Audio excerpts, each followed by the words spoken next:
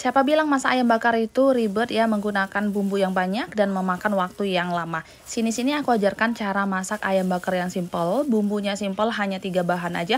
Ini lembut banget tanpa menggunakan presto ya. Penasaran seperti apa? Tonton video ini sampai selesai. Bahan utamanya di sini saya pakai ayam 2 ekor, satu ekornya saya potong 4 ya teman-teman. Kalau mau dipotong 8 juga boleh sesuai selera. Supaya lebih simpel, kita pakai bumbu instan untuk ungkep ayam goreng ya. Nah, sekarang kita siapkan airnya terlebih dahulu. Ini airnya sebanyak 400 ml. Ini kita masukkan semua bumbunya.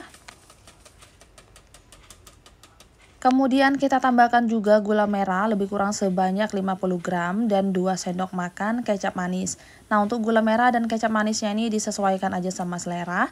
Sekarang kita masak sampai mendidih ya. Jangan lupa ditutup. Kalau udah mendidih, sekarang kita masukkan semua ayamnya. Nah ini ayamnya kalau mau dipotong 8 atau kecil-kecil juga boleh sesuai selera. Kita masukkan semua ayamnya. Nah ini kita masak lebih kurang selama 10 menit ya.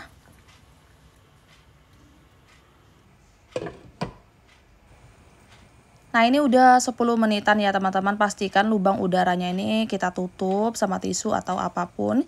Yang pasti uap panasnya itu nggak keluar. Sekarang kita diamkan selama 30 menit ya.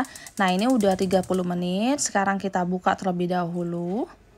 Kita balik ayamnya supaya matangnya itu sempurna dan bumbunya meresap ya. Sekarang kita masak kembali lebih kurang selama 10 menit Nah ini udah mendidih ya teman-teman. Kita diamkan sejenak sampai uap panasnya menghilang. Kemudian kita angkat ayamnya. Selanjutnya ini kuahnya kita masak kembali sampai mengental ya. Nah ini udah mengental ya teman-teman lebih kurang seperti ini. Sekarang kita sisihkan. Selanjutnya kita siapkan pemanggang. Ini saya pakai teflon aja seperti ini. Kita tambahkan sedikit margarin atau mentega. Sekarang kita panggang ayamnya. Kemudian kita olesin sama sisa bumbu tadi ya.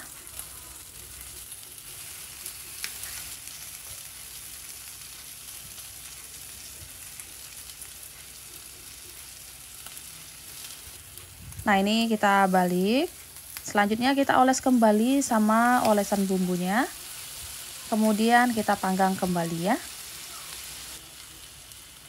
Nah ini udah jadi ya teman-teman. Sekarang kita angkat dan siap disajikan. Nah ini dia teman-teman. Ayam bakarnya udah jadi. Ini enak banget ya. Dan tentunya ayamnya itu super lembut ya. Silahkan dicoba. Terima kasih banyak sudah menonton. Semoga video ini bermanfaat.